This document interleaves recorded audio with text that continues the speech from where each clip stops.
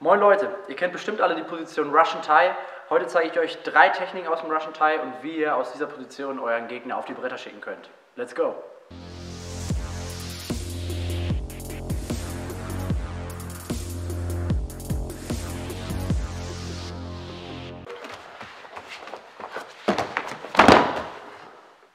Okay Leute, dann starten wir direkt mit der ersten Technik.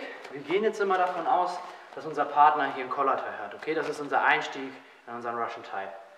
Das heißt, was ich als erstes mache, ich greife hier mit meiner freien rechten Hand Philipps Handgelenk. Okay, und die, rechte, äh, die linke Schulter fängt hier an, seinen Griff zu brechen. Wenn ich jetzt nur hier brechen würde, könnte ich vielleicht den Griff loswerden, aber ich hätte die Hand nicht. Die Hand will natürlich danach kontrollieren. Also ich bin hier, ich greife und ich breche den Griff und ich habe direkt Kontrolle. Okay, mit der linken Hand gehe ich an seinen Oberarm. Von hier fangen wir an mit Kutsushi, also im Endeffekt, im Endeffekt mit Gleichgewichtsbruch. Das heißt, ich kann hier für meinen Uchimata einsteigen. Philipp steht von hier auf einem Bein und dann würde ich weitergehen zum Enkelpick. Nochmal ein bisschen schneller. Ich bin hier, ich greife, ich gehe für meinen Uchimata und ich hole mir hier meinen Takedown.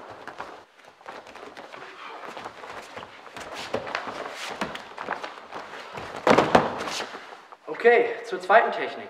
Wir starten wieder wie eben, das heißt unser Einstieg bleibt hier gleich. Ich greife Philipps Handgelenk, ich rotiere meine Schulter rein, um den Griff zu brechen und wir sind wieder in unserer Ausgangsposition. Von hier kann ich auch wieder Kutsushi machen. Das ist immer generell eine gute Idee. Also Kutsushi einfach ein anderes Wort für Gleichgewichtsbruch. Ich bringe Philipp hier außer Balance, indem ich hier mit meinem Uchimata reingehe. Von hier ist es, ich strecke seine Hand durch mit der Hand, mit der ich ihn hier greife und kontrolliere und gehe hier gleichzeitig zum Single Leg. Von hier greife ich sein Bein, ich komme in meinen High Single. Wir haben eine ganze Reihe an Variationsvideos zu Single Legs äh, schon für euch abgefilmt. Äh, markieren wir euch hier oder verlinken wir euch hier. Könnt ihr euch gerne nochmal anschauen. Und von hier habe ich dann Möglichkeiten, Philipp relativ leicht auf den Boden zu bringen.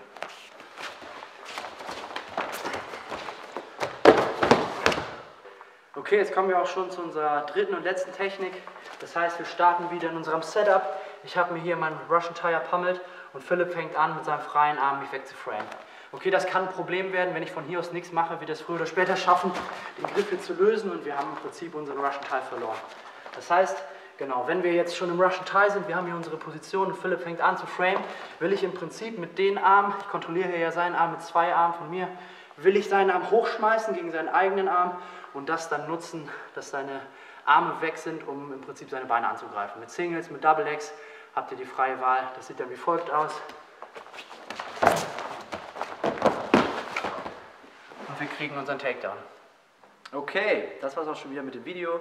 Ähm, wenn euch das Video gefallen hat, lasst es uns doch gerne mit einem Daumen nach oben wissen und schreibt auch gerne in die Kommentare, ob ihr noch weitere Techniken aus dem Russian Thai kennt.